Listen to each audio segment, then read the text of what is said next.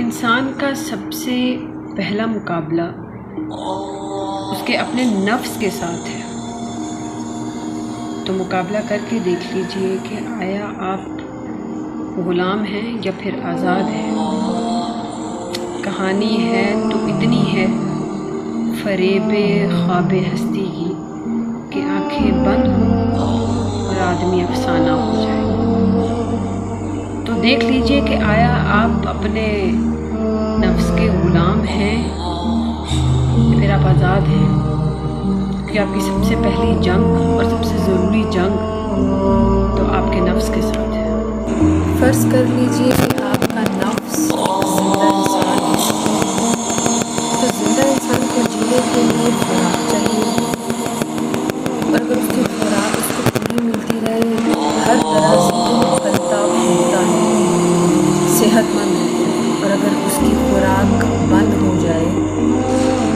इतनी कम तो पहले वो कमज़ोर होगा आहिस्ता आहिस्ता वो मर जाएगा लेकिन इंसान की खुराक बंद करने से उसके मरने तक वक्त लगता है तो आपका नफ्स भी बिल्कुल इसी तरह एक ज़िंदा चीज़ है आप इसकी खुराक बंद कर देंगे